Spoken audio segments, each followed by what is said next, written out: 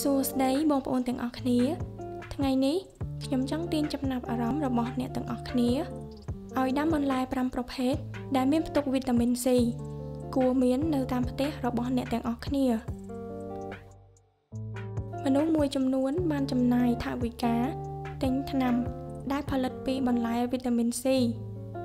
យកមកទទួលទានរាល់ថ្ងៃដើម្បីញ៉ាំជំនួយដល់សុខភាព និងបង្កើនសម្រស់ឲ្យក្មេងជាងវ័យតើអ្នកទាំងអស់គ្នា ដឹងថាថ្នាំទាំងអស់នោះ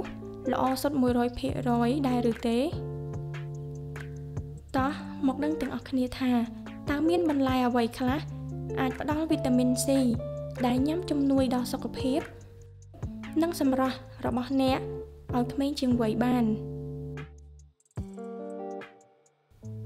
ទី1ផ្លែប៉េងប៉ោះ ប៉េងប៉ោះគឺជាផ្លែឈើដែលត្រូវបានគេចាត់ទុកថា ជាបន្លែ ដោយអ្នកជំនាញអាហារូបត្ថម្ភហើយបន្លែប៉េងប៉ោះមានផ្ទុកវីតាមីន C ច្រើនរហូតដល់22%ទី2ផ្លែម្នាស់ផ្លែម្នាស់មានរសជាតិជូរអែម ដែលធម្មតាអាចយកញ៉ាំជាលក្ខណៈបង្អែមលាងមាត់ក៏បាន ឬយកម្នាស់ច្នៃជាបន្លែសម្រាប់មុខម្ហូបបានដូចគ្នាផងដែរ ម្នាស់មានផ្ទុកវីតាមីន C ច្រើនរហូតដល់79%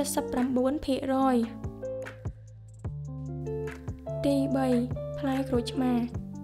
ក្រូចឆ្មាមានបរិមាណវីតាមីន C ខ្ពស់រហូតដល់88%ដែលផ្ដល់នូវអត្ថប្រយោជន៍ជាច្រើនដល់សុខភាពទី4ផ្លែល្ហុងល្ហុងជាបន្លែធម្មតាពេលខ្ចីអាចយកធ្វើជាបន្លែ សម្រាប់ស្លប៉ុន្តែពេលទុំអាចយកធ្វើជាបង្អែមញ៉ាំបានដូចគ្នាល្ហុងមានផ្ទុកវីតាមីន C ច្រើន រហូតដល់100%ទី5មើមការ៉ុតមើមការ៉ុតជាបន្លែដែលមានសារធាតុចិញ្ចឹមច្រើនមុខចូលគ្នា ជាបន្លែជំនួយដល់ស្បែកនិងសុខភាព ហើយមើមការ៉ុតនេះ ក៏មានផ្ទុកវីតាមីន C 9%ផងដែរអ្នកទាំងអស់គ្នា ពេលមានបន្លែទាំង5ប្រភេទនេះនៅផ្ទះគឺអស់បារម្ភអំពីផលិតផលคล้ายคล้ายទាំងអស់នោះទៀតហើយជាពិសេសអាចមានបន្លែនៅផ្ទះដោយខ្លួនឯងគឺចំណេញទាំងថវិកាទាំងពេលវេលា ហើយទទួលបានបន្លែស្រស់ស្រស់បន្លែដែលមានផ្ទុកវីតាមីន C សម្រាប់ញ៉ាំរាល់ថ្ងៃបានផងដែរ សូមអរគុណសម្រាប់ការទស្សនាវីដេអូនេះសូមអ្នកទាំងអស់គ្នា